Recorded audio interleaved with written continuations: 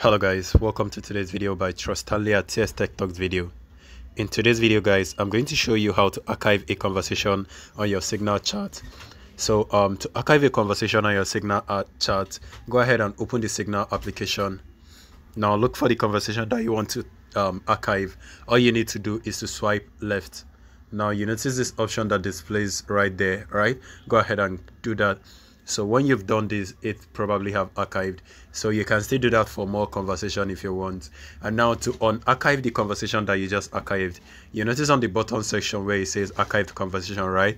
Now if you have so many conversation on your own list all you need to do is to scroll right down to the bottom section once you've gotten to the bottom section um, you're going to see where it has archived conversation. Now go ahead and click on that. Now um, these are the conversation that i've archived. So to unarchive them just go ahead and click and hold on the conversation. Now you notice the option on top area where it says where you have this um, top arrow button right?